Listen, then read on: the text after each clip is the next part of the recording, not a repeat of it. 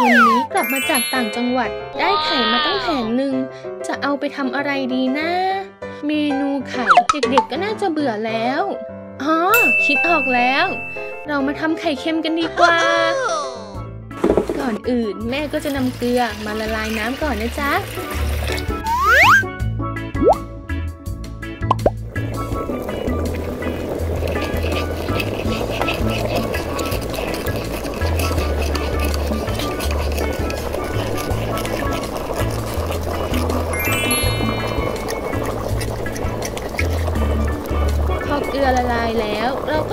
พักไว้ก่อน ต่อไปเราก็นำขวดโหลมาใส่น้ำเกลือที่เราละลายแล้วลงไป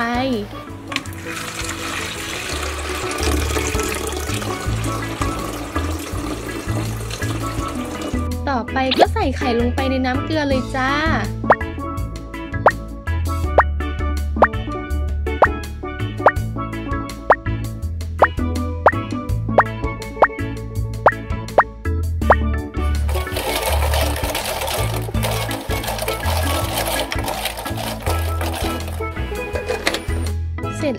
แม่ก็จะดองทิ้งไว้ 5 วันนะจ๊ะ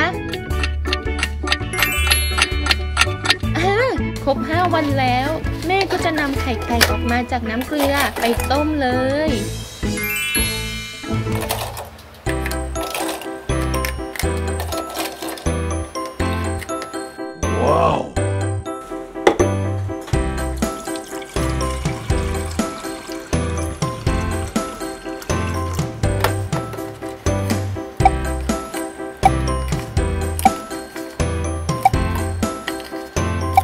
ปิดฝารอไข่สุก ระหว่างรอแม่ก็จะมาล้างปลาหมึกก่อนนะจ๊ะ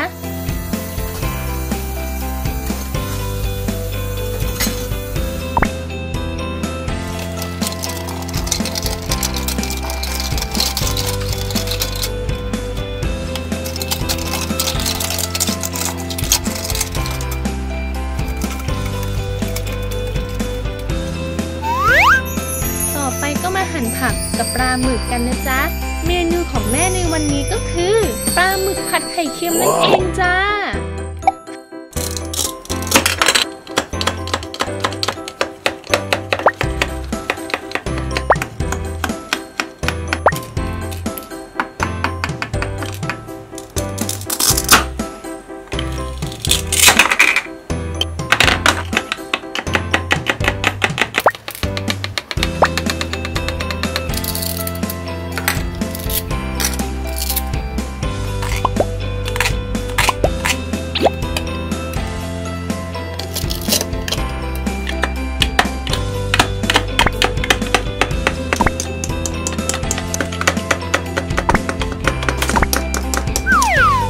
เสร็จแล้วก็มาดูไข่กันนะจ๊ะ ได้ที่แล้วก็ตักออกมานอกน้ำเย็นจ้า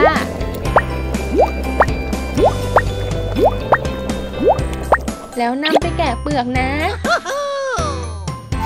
ได้ไข่แล้วแม่ก็จะใช้เอ็นตัดไข่แบบนี้นะจ๊ะ ว้าว สีสวยมากเลย Wow. ต่อไปแม่จะเอาแต่ไข่แดงนะ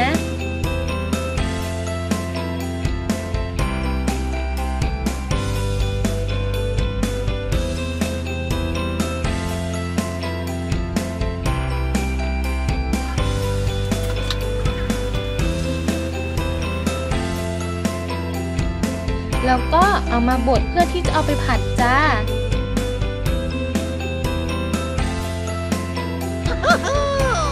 ต่อไปก็เริ่มผัดกันเลย ใส่ผักที่แม่หั่นไว้ลงไป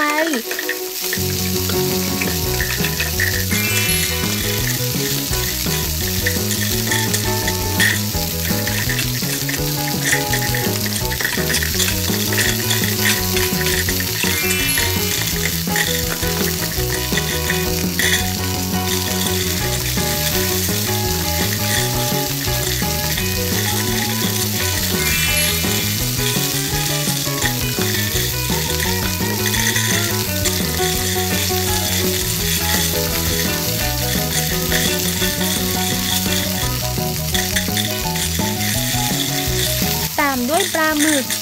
ผัดให้หอม ใส่ไข่เค็มลงไป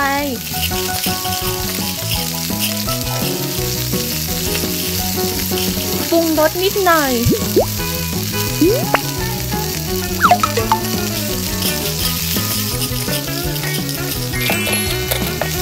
อืมกลิ่นหอมมากเลย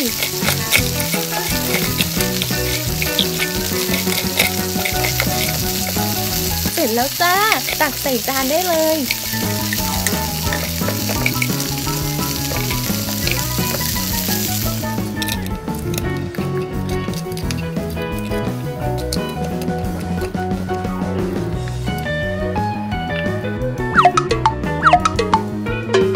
เสร็จแล้วจ้า ปลาหมึกผัดไข่เค็มของแม่ เอาล่ะ วันนี้เมนูพิเศษของแม่ก็เสร็จแล้ว งั้นวันนี้แม่ขอตัวไปเก็บครัวก่อนนะจ๊ะ แล้วเจอกันใหม่นะจ๊ะ บ๊ายบาย